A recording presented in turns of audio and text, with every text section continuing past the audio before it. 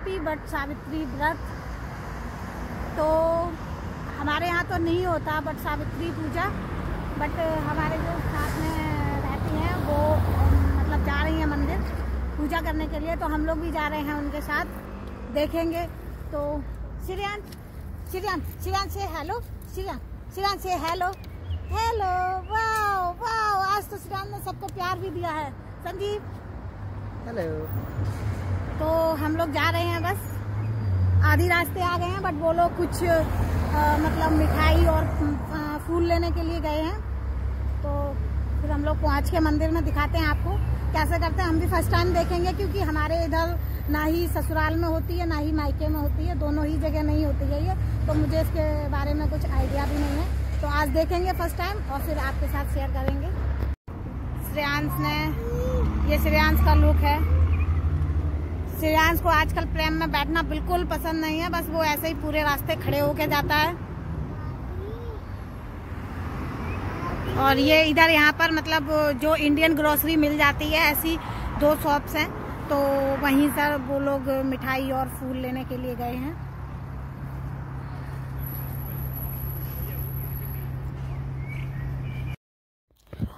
उन लोगों के आने में टाइम था।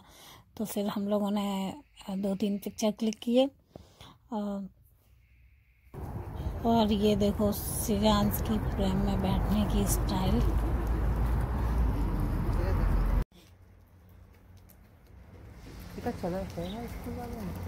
चलोगे? किधर है वो बिल्डिंग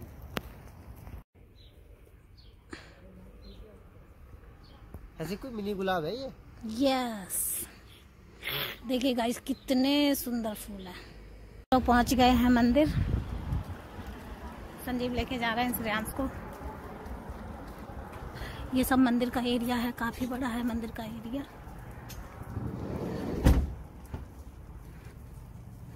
मंदिर का गेट आ गया।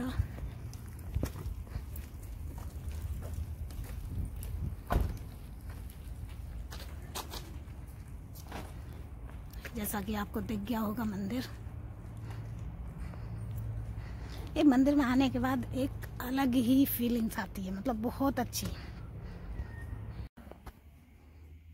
आते ही इसीलिए आया था अंगूर नहीं मिलते तो घर पे? मंदिर में आने के बाद पता किया कि बट का वृक्ष है तो पंडित जी ने मना किया कि नहीं है यहाँ पर। ये तुलसी का पेड़ है मंदिर में।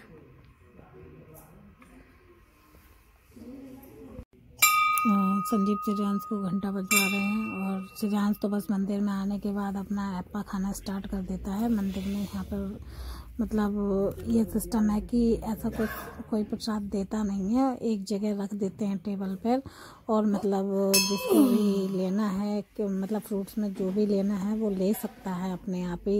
एप्पल बनाना, जो भी फ्रूट्स होंगे तो वहाँ पर रखे होते हैं। तो श्रेयांश तो अपना उसको जो अच्छा लग रहा था वो खा रहा था।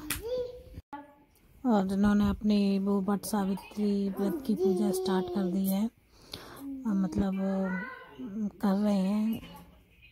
हम, मैं देख रही थी पीछे से कि क्या करते हैं। तो वो सारा सामान घर से लेके आई थी अपना, और यहाँ पे आकर उन्होंने पूजा की, क्योंकि घर पे क्या है, इतना सब है नहीं पूजा करने का अच्छा सिस्टम और फिर यहाँ पर सिर नवा रहा था सभी देवी देवताओं के सामने। और साथ में उनको मतलब सिर नवाने के बाद बाद में उनको बाय भी कर रहा था। उसको मतलब कहीं से जाना हो तो वो उसको बाय ज़रूर करता है तो ऐसे ही वो भगवान जी को भी बाय कर रहा था।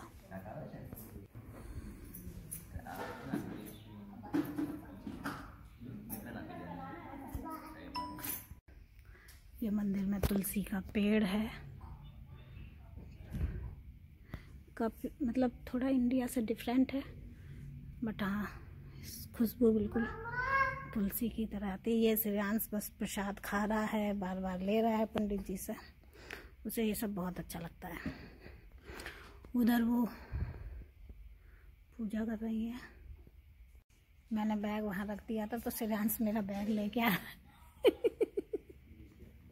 लाओ मम्मा को दे दो। अब श्रेयांश को अपनी चीज़ों की इतनी समझ हो गई है कि मुझे मेरे शूज़ ला के दिए डैडी के शूज़ ला के दिए अब अपने खुद शूज़ ला के दे रहा है कि उसे पहना।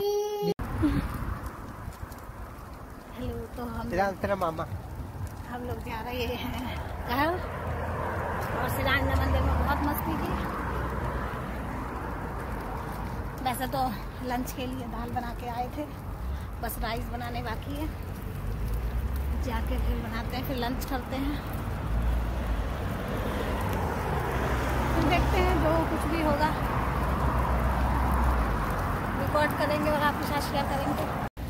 श्रेयांश को प्रेम में हम लोग खड़ा नहीं होने दे रहे तो श्रेयांश अपने अपने अपने पापा की फिंगर पकड़ के ही जा रहा है पूरा टाइम छोड़ ही नहीं रहा फिंगर कह रहा नहीं तो मुझे फिर खड़ा होने दो प्रेम में। तो फिर वो ज़्यादा बेटर है कि मैं उसे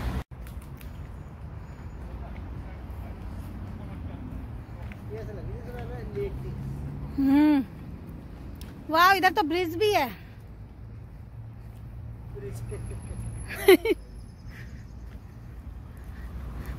सच में यार अंदर जाने के लिए है इधर।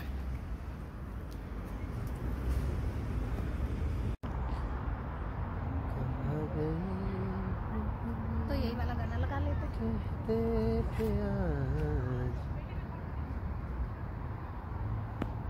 बस बंद। फिर हम लोग घर वापस आ गए हम लोग ने लंच वगैरह किया और फिर उसके बाद देखिए श्रेयांश कैसे मेरे क्लेचर से मतलब वो बाल बना रहा था और बहुत ही अच्छा लगा मंदिर जाने में। अभी तो गए थे जब केरी मनोरथ मनाया गया था इसके बाद बहुत जल्दी जाने को मिला। और अगर हमारा वीडियो अच्छा लगा हो तो प्लीज़ लाइक शेयर सब्सक्राइब ज़रूर करें। और अब तक के लिए बाय गाइस फिर मिलते हैं नए ब्लॉग के साथ। Okay bye